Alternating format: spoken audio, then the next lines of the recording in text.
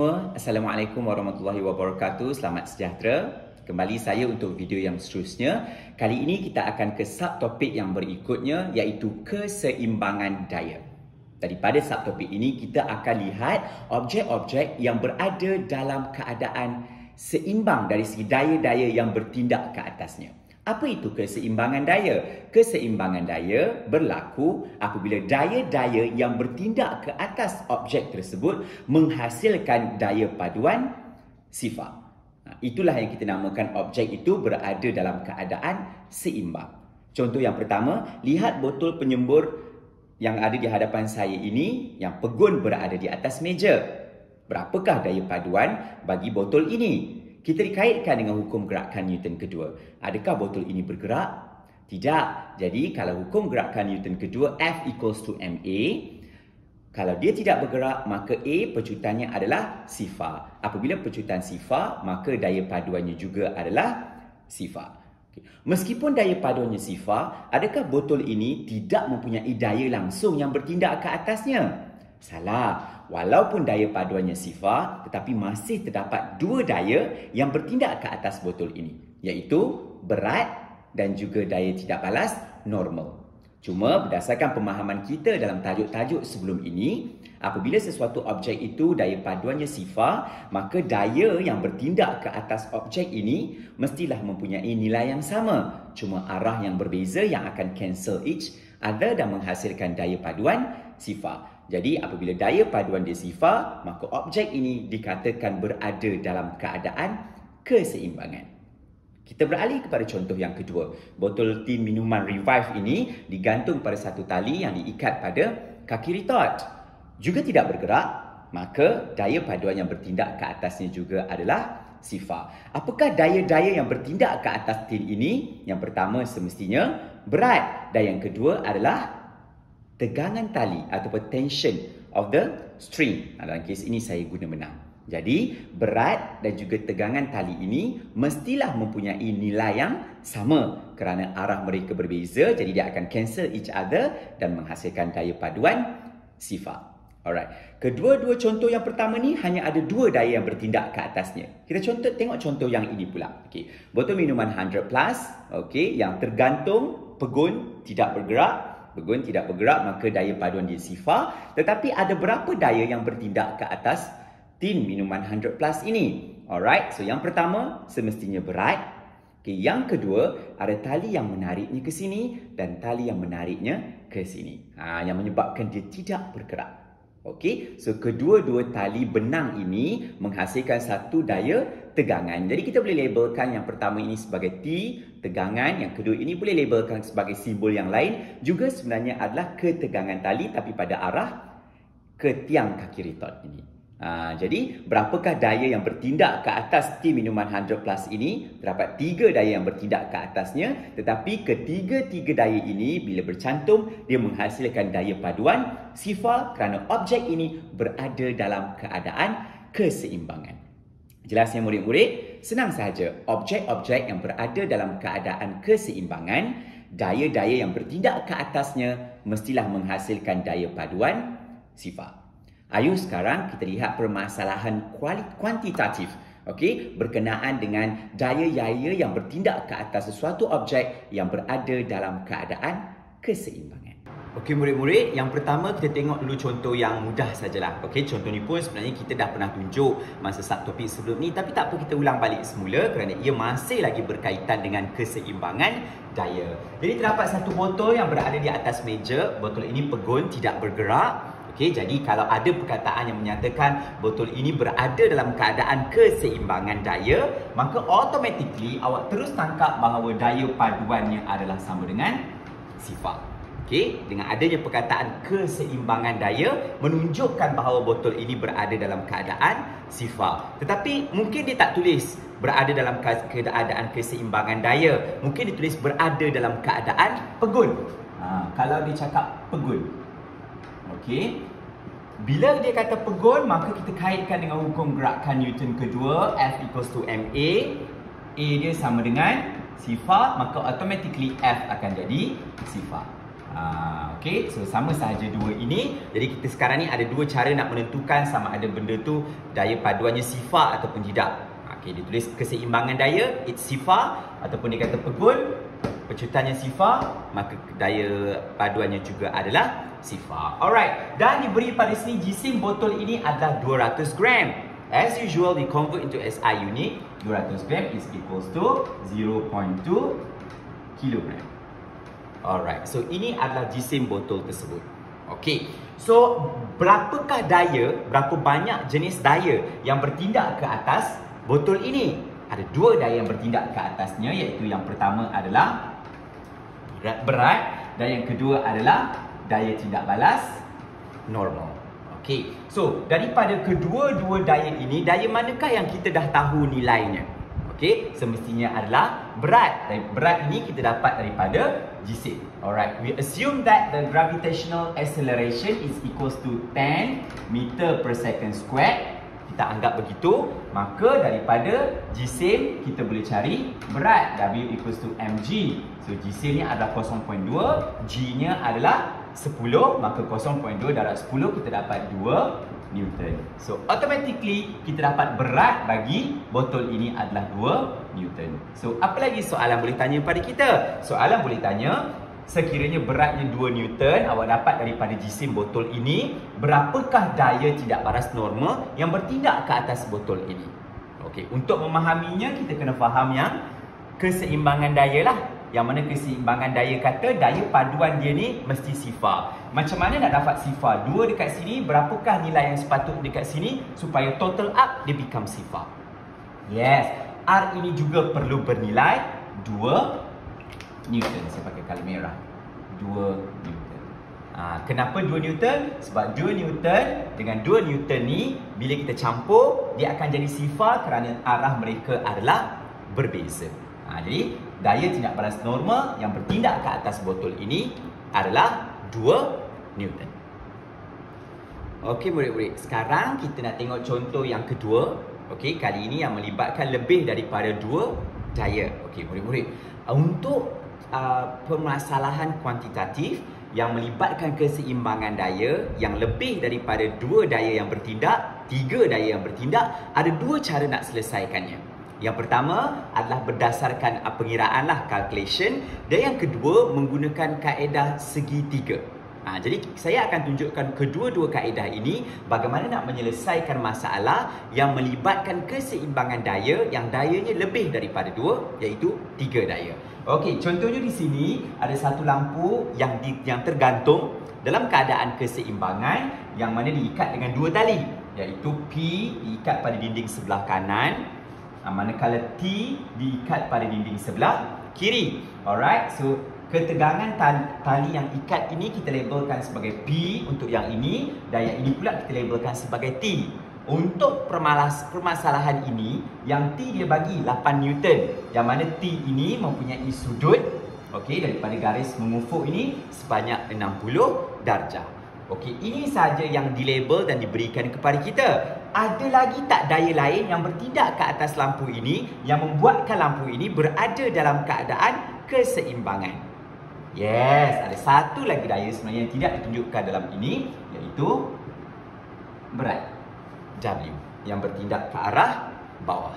So, ada tiga daya yang bertindak ke atas lampu ini yang menyebabkan lampu ini berada dalam keadaan keseimbangan. Apa itu berada dalam keadaan keseimbangan? Daya paduan yang bertindak ke atasnya adalah sifar.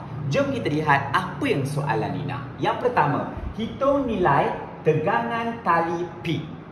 Ha, okay. So maksudnya dia tanya berapakah Newton ketegangan tali yang mengikat lampu ini ke dinding sebelah kanan. Saya bagi tahu tadi ada dua penyelesaian betul. Kita akan buat penyelesaian pertama dahulu. Okey. So, yang B ditanya pasal berat lampu W. Berapakah berat lampu ini? Pun sama juga ada dua penyelesaian. Kita akan buat kedua-dua ini menggunakan kaedah penyelesaian yang pertama yang dahulu iaitu kaedah kita kena kira-kira. Okey. Apa patut kita buat? Pertama sekali fahamkan dulu. Okey, fahamkan dulu daya yang bertindak ke atas ini macam mana dia boleh jadi sifar? Macam mana dia boleh jadi kosong? Okey. So kita tengok yang P dulu. Okey, so P dia berada pada garis mengufuk. Alright, sedangkan yang ini pada sudut yang tertentu. Hai, macam mana tu? Kita nak tengok mengufuk. P ni dengan something dekat sini mesti cancel cancel each other and it become zero. Kan? Okay, so awak diberi 60 uh, 8 Newton pada sudut 60. Boleh tak nak cari yang dekat sini? Boleh. Kita menggunakan kaedah leraian daya. Beri satu daya, kita boleh leraikan kepada dua komponen. Ingat lagi tajuk sebelum ni, komponen mengufuk dan komponen menegak. Okey, di manakah komponen mengufuk? Begini, komponen menegak ke atas. Kita panggil ini sebagai X, yang ini sebagai Y. So, T, bila kita leraikan dia kepada dua daya, kita ada di sini, kita panggil sebagai T, X, dan kita ada ke atas, yang kita panggil sebagai T, Y. Ha, ingat lagi? Leraian daya. Okey, so bila kita dah buat macam ni, kita dah tahu TX dengan TY. Ingat yang mana sin, yang mana cos. Kejap lagi kita buat. Jom kita jawab soalan yang pertama. Tegangan tali P. Ketegangan tali ini mestilah sama dengan ketegangan tali sebelah sini sebab dia orang akan cancel each other and become zero. So, sini memang kita tak boleh nak cari direct sebab nothing given. Tak ada apa pun. Tapi, uh, boleh tak kita cari TX menggunakan leraian daya, kita boleh cari TX. Kita guna sin ataupun cos. Jadi murid-murid nak guna sin ataupun cos. Sebab kita nak cari yang mengufuk. Ada 60 uh, darjah dan juga 8 Newton. So, P adalah sama dengan TX. Nilai dia perlu sama. Baru dia akan cancel each other as become zero. Okay. So, TX. Macam mana nak cari TX? Okay, TX kita gunakan era leraian daya. Iaitu bersebelahan dengan hypotenuse. So kita akan gunakan Tx sama dengan 8 cos 60 darjah. Mana saya tahu cos bersebelahan hypotenuse. Okey. So kira ini guna kalkulator, awak akan dapat Tx sama dengan 4 Newton. So Tx awak adalah 4 Newton. P awak pun 4 Newton sebab Tx adalah sama dengan P. So kita dah dapat P sama dengan 4 Newton. Settle yang pertama. Okey. Dengan memahami keseimbangan daya, kita boleh selesai. Okey, kita pergi soalan yang kedua. B pula dia tanya. Berapakah berat lampu? Okey, berat lampu ke bawah ada dibagi jisim, tak ada dibagi jisim. Jadi, kita tahu bagi sesuatu objek yang berada dalam keadaan keseimbangan, maka W mestilah sama dengan TY kerana daya paduan antara TY dan W ni semestinya lah kena kosong baru lampu ni dalam keadaan keseimbangan. So, guna lagi kaedah leraian daya untuk kita cari TY. Remember TY sama lah juga dengan sebelah sini. Okey, so dengan menggunakan sudut 60 darjah, okey, kita ada 8 Newton dan kita ada opposite yang bertentangan sini dengan sini parallel. Okey. So, kita guna sin ataupun cos Yes, kita guna sin pula kali ni. Okey, so untuk berat lampu, W adalah sama dengan T, Y. W sama dengan T, Y. Kita leraikan ini kepada Y. So, dia akan cancel each other, become zero. Okey, so macam nak cari T, Y? T, Y sama dengan 8 sin 60 darjah. Tekan kalkulator, awak akan dapat 6.93 Newton. Dapatlah 6.93 Newton. Settle. Kedua-duanya dengan menggunakan kaedah leraian daya kita dapat. Okay, jom kita tengok kaedah yang kedua menggunakan kaedah segitiga. Okey, sekarang jom kita try pula kaedah yang kedua. Kalau tadi kaedah leraian daya, sekarang kita nak guna kaedah segitiga. Familiar kan dengan perkataan kaedah segitiga kita dah belajar sebelum ni dalam tajuk daya paduan. So kaedah segitiga ini memerlukan kemahiran kita untuk melukis mengikut skala. So as usual, cari skala dulu. Uh, create your own skala but it has to be uh, orang kata specified and reasonable lah. Okay, logik benda tu. Okay, sebagai contoh dia bagi kat kita 8 Newton. So what if kita buat skala kita adalah 1 cm sama dengan 2 Newton. Ha, okay, nampak lebih reasonable dan logik untuk kita lukiskan. Okay, so uh, anggap ini sebagai garisan di atas buku ataupun kertas awak. Okay, so first, perkara pertama sekali yang perlu dilukis adalah daya yang bertindak ke atasnya. Actually, kena lukis semua daya yang bertindak ke atasnya. Ada berapa daya yang bertindak ke atasnya? Satu, dua dan juga tiga. But remember, kita kena arah yang betul untuk melukis segitiga. Okay? So, let's draw. Okay, kita lukis yang pertama yang kita tahu nilai dia.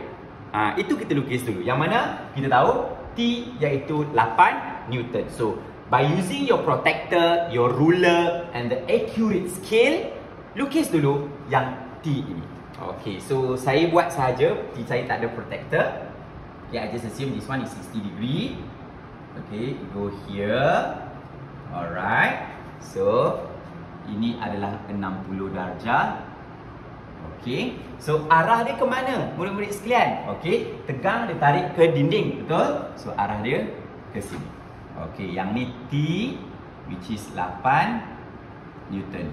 Okey, berapa panjang kena lukis garisan ini? 4 cm. Macam mana dapat 4 cm? Sebab kita kata 1 cm sama dengan 2. So kalau 8 Newton, kita boleh lukis 4 cm cukup. Tapi kena tepat. Kena very accurate. Okey, sekarang kita dah ada yang sengit ni. Sekarang kita nak hasilkan segitiga. So kalau nak hasilkan segitiga, mesti ada satu dekat sini, mesti ada satu dekat sini. Betul tak? Okay, so adakah dia menepati dengan gambar rajah kita? Okay, sekarang just assume yang kita nak dekat sini ataupun dekat sini. Pilih je yang mana satu nak. Okay, saya nak ambil P dulu. Okay, P dulu. So, kalau P ini, yang ini daya dia ke sana. P ini daya yang tarik dia ke situ. Betul? Alright, so lukis sahaja. Awak tak tahu berapa panjang nak lukis kan? Apa, it's okay. Garis saja dulu. Sebab awak tahu di bawah ni ada P. Okay, arah mana? Arah sini. Garis saja dulu sebab you tak tahu berapa panjang. Nanti awak akan tahu. Okey, next dah settle P, dah settle T. Daya yang ketiga adalah berat W. Arah dia ke mana? Arah dia ke bawah. So it's mean that kita ambil yang ini and go straight ke bawah macam ni. Alright. Okey. Macam tu. Okey, yang ini nanti degree lah. Okay, bila you dah dapat this complete triangle, you dah tahu kan panjang ni berapa?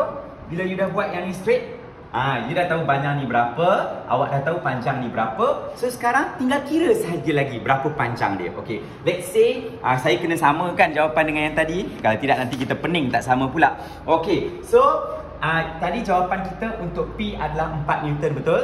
Okay, so sepatutnya bila awak melukis, awak akan dapat dekat sini dia punya panjang dia adalah 2 cm.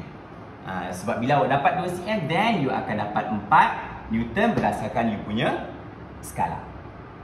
Okay, so dah settle yang ni, kira yang ni pula. So bila you kira-kira-kira, kita akan dapat dalam um, 3.5 cm lah. 3.5 cm. So using your calculator you akan dapat 7 Newton berdasarkan skala. Okey. Dia akan lari sikitlah berbanding kita punya kaedah larian daya iaitu mempunyai lebih titik perpuluhan lah. Yang ini kalau berdasarkan lukisan awak sendiri, adakah dia akan menghasilkan uh, sama ataupun tidak? Tapi dia tak akan lari jauh sangat. Okey, so inilah murid-murid kaedah yang kedua menggunakan kaedah segitiga. Ingat, lukis yang mana kita tahu dulu and then draw ikut line. Perasan tak dia punya uh, anak panah dia dia akan menghasilkan satu circle. Ini pergi sini, pergi sini. So dia hasilkan macam tu. Satu circle. Uh, inilah kaedah segitiga. Senang, lebih mudah tetapi kita kena kenal pasti daya dia dan juga arah tindakan dia. Then kena lukis mengikut skala yang betul-betul tepat and then ukur pun dengan tepat, awak akan dapat jawapan yang sepatutnya. Bagi murid-murid yang suka untuk membuat kedua-duanya, buatlah rayaan daya dulu and then try to approve back by using kaedah segitiga. Jelas ya? Okay, kita teruskan untuk contoh yang seterusnya. Alright, yang next punya kita tengok pula situasi ini. Okey, ada satu kotak yang berada di atas satu satah ataupun permukaan yang condong. Kotak ini pegun. Okey, so kalau pegun maksudnya dia berada dalam keadaan keseimbangan iaitu daya paduan dia adalah sifar. Apa maklumat yang diberi kepada kita? Pertama, berat kotak ini adalah 50 Newton. Alright. Hitung magnitude daya geseran FR. Okay, maksudnya dia condong, dia tak bergerak, mestilah maksudnya ada daya geseran which is arah sana. Okay. Daya tidak balas normal. So daya tidak balas normal uh, yang bertindak ke atas kotak ini. Okay, so kena cari FR, kena cari R. Okay. Sebelum kita selesaikan semua nilai-nilai dia tu, kita kena tentukan berapakah daya yang bertindak ke atas uh, objek ini. Uh, okay, dan pendek kata senang cerita, kita kena lukis gambar raja jasad bebas. Ha, daripada situ kita tahu berapa nilai daya yang ada. So first, macam saya cakap sebelum ni, bila kita dikendaki untuk melukis gambar raja jasad bebas, first kali kita lukis berat kotak. Alright, so kita ambil daripada pusat kotak ni. Okey, berat arah mana murid-murid? Berat arah ha, pecutan graviti iaitu ke pusat bumi. So ini adalah arah W berat dia. Okey, yang kedua, kalau ada berat mesti ada daya tidak balas normal. Tapi ingat, daya tidak balas normal mestilah bersudut tepat dengan permukaan di mana objek itu berada.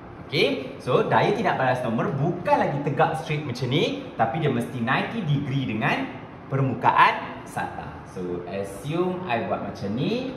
So this is the R. Is it 90 degree? Yes, assume like that. Okey, ada lagi tak daya yang bertindak? Dia tidak bergerak. Jadi daya ke depan ada ke? Tak ada sebab objek ini tidak bergerak. Tapi apa yang membuatkan dia tidak bergerak? Daya geseran. Besarlah daya geseran dia sehingga dia membuatkan kotak ini tidak bergerak. Alright, so ada lagi tak daya yang bertindak ke atasnya? Tak ada sebab dia kata objek ini pegun. Pegun maksudnya berada dalam keadaan keseimbangan. Daya paduan dia sama dengan sifar. Alright, jom kita selesaikan hitung magnitude daya geseran FR. So dia suruh kita cari FR. Kita ada R, kita ada W. Oh lupa nak tulis. W ni ada nilai betul. Dia dah bagi kat kita W sama dengan 50 Newton. Ah, okey, ada dua kaedah nak selesaikan, kaedah segitiga dan juga kaedah leraian daya. Kita buat kaedah leraian daya dulu. Okey. So untuk meleraikan daya, kita mesti ada satu daya yang diberi. Apa daya yang diberi? Yang ini sahaja, 50 Newton. Dan selalunya bila kita nak leraikan daya ni, kita mesti bermain dengan cos, bermain dengan sin. Bila bermain dengan cos dan juga sin, kita mesti ada sudut. Sudutnya di mana? Di sini. Macam mana tu murid sekalian? Kalau sudut di sini, tapi daya yang diberi di sini. Ah, okey di sini ada tricky sikit untuk you punya pemahaman tentang trigonometry. Ah, sekejap lagi saya tunjuk sudut ni sebenarnya ada sama dengan satu sudut yang lain yang juga ada dekat sini. Okey, jom kita selesaikan. Yang pertama, berapakah daya geseran? Okey, daya geseran ke sana. Okey, so macam mana kita nak cari daya geseran?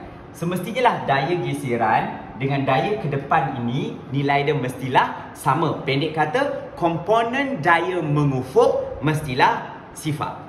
Yang ini dan yang ini mestilah saling cancel each other and it become sifar. So ada satu lagi daya dekat sini. Ha, yang mana daya ni dengan daya ni nilai dia mestilah sama. Itu untuk yang pertama. Yang kedua, ditanya daya tidak balas normal nilai ke atas ini okey mestilah sama dengan nilai ke bawah ini. Pendek kata komponen daya menegak adalah sifar here. Ha okey. So this one akan cancel dengan kawan ni. This one akan cancel dengan kawan ni. So everything will become zero. So you dapat cari ini you dapat cari ini You dapat cari yang ini, you dapat cari yang ini. Masalahnya yang ini dengan yang ini itu apa? Okey murid-murid, 40 darjah ini adalah sama dengan sudut di sini. Siap, saya buat di sini. 40 darjah. Ah, so kita dah ada 40 darjah kat sini. Boleh tak kita leraikan W ni kepada dua? Alright, let's say this one is mengufuk. We put as W X. This one is menegak, kita letak sebagai W, Y. So, dah ada sudut, kita dah lerai kepada dua. Boleh tak cari leraian daya komponen memufuk dan komponen menegak? Simple. Kita selesaikan yang pertama. Okey, untuk daya geseran, kita bermain dengan komponen memufuk. Alright, so WX, sorry, daya geseran FR adalah sama dengan komponen mengufuk WX. So kita cari WX. WX sama dengan okey 40 darjah dekat sini. Awak nak cari dekat sini. So you pakai cos ataupun sin. Ha, tengok betul-betul cos ataupun sin. Alright, so kita bukan nak cari sebelah sini, kita nak cari sini. So samalah juga dengan sini. So bertentangan dan juga hypotenuse. So kita pakai sin 50 Newton, 50 darab sin 40 darjah. Tekan kalkulator, you sepatutnya akan dapat 32.14 Newton. Ini untuk nilai WX. Inilah juga nilai FR. So finish yang pertama kita dah dapat dengan mencari komponen memufuk. Sekarang kita nak cari daya tindak balas normal which is kita guna komponen menegak. Alright, so komponen menegak dia is WY. So awak nak cari R, awak tahu yang R mestilah sama dengan WY. Baru dia dapat menghasilkan daya paduan sifar. So now you cari WY. So WY adalah ini diberi ini. So you nak pakai sin ataupun cos. Okay, bersebelahan dan bertentangan. Alright, so kita pakai 50 cos 40 darjah. So dapatlah jawapan dia 38.30 Newton. Inilah nilai WY. So WY bersamaan dengan R. So dapatlah nilai R iaitu 38.30 Newton. Ha, okay, murid-murid sekalian, saya tahu leraian daya mesti ramai yang dah tera. Cuma sekarang ni untuk situasi ni awak kena tahu yang sudut ini adalah sama dengan sudut di sini then baru you boleh leraikan daya itu. Jom kita try kaedah yang kedua menggunakan kaedah segitiga daya. Okey, sekarang ni kita nak buat kaedah yang kedua, okey, uh, menggunakan kaedah segitiga daya. Alright. So jom kita buat kaedah segitiga daya.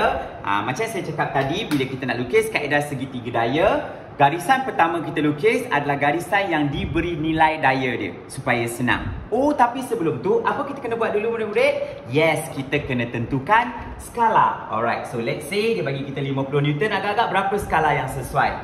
1 cm bagi saya sesuai 1 cm sama dengan 10 Newton. Taklah besar sangat kita nak lukis. So, kalau 50 Newton, berapa cm nak lukis?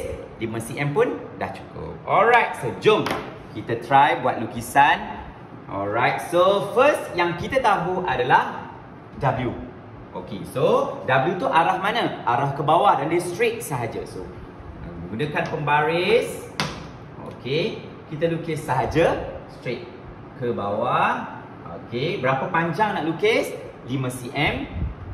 Okay, sebab 1 cm mewakili 10. Alright, ke sini. Okay, dah, kita dah ada yang pertama. Apa ini?